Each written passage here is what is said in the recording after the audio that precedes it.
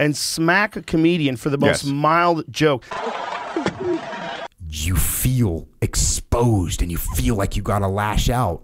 and then sit there quivering, saying, With "Keep my yeah. wife's name out of your fucking mouth." Keep my wife's name out your fucking mouth! If you gotta lash out like this, it reveals a lack of control.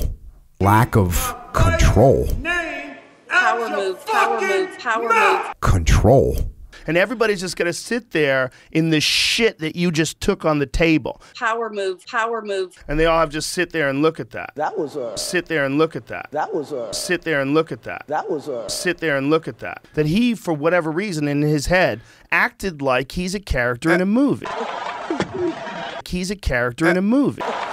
Culmination of emotional distress. Insecurity there. That's my whole point of this. Like, Yes. this is a nonsense You're scene right. where you're allowed to just go smack someone. Where you're allowed to just go smack someone.